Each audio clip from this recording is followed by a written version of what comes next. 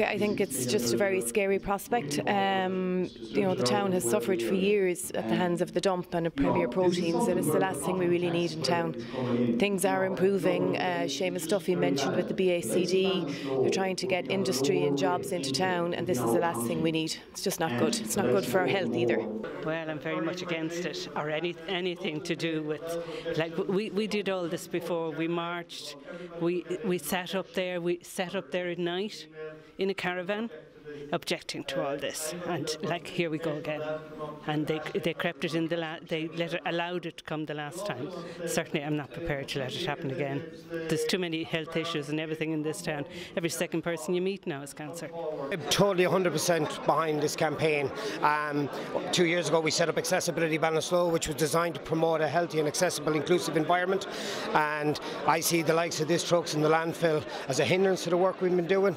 And as I said, when you're trying to promote a town, the likes of this landfill site or storage facility, they can put whatever name they want it, will only be seen as a negative. And it's something that Ballinasloe doesn't need. Ballinasloe is a town with so much potential.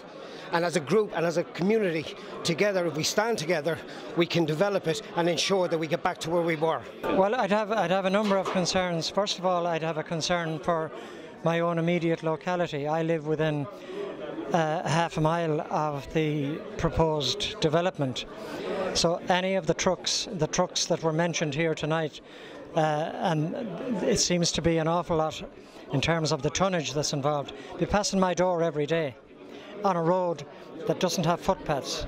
So it, it's already dangerous. This would render it to be completely unsafe for anybody walking or cycling, and especially for young children.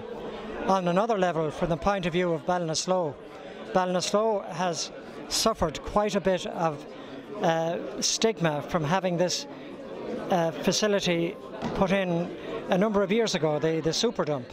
And now we're talking again about a dump related facility.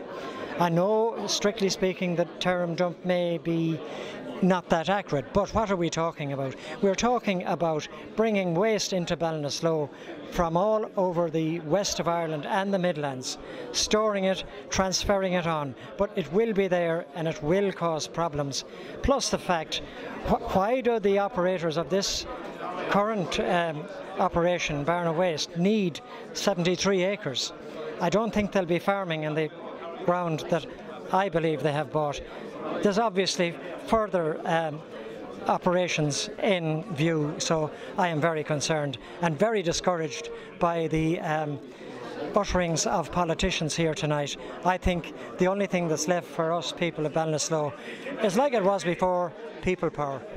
I compliment the, the councillors who attended. It's not a, a nice uh, environment to come into, um, but I still feel that there has been a failure um, at that level in relation to the information that was um, issued or has been filtered out to the, the, the general public that lives in Ballinasloe and its surrounding areas. Well, I know the councillors, uh, fair play, they showed up, and I mean, I respect them for that. And I know that they're often in the firing line for um, everything that goes wrong.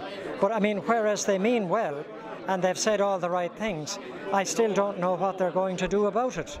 And as a number of people said here tonight, why did they not know that this was coming down the tracks and warn us of it? Why do we ourselves, having elected these people, have to still uh, find out for ourselves and find a way to defend our communities from these kind of undesirable uh, industrial developments in a residential area?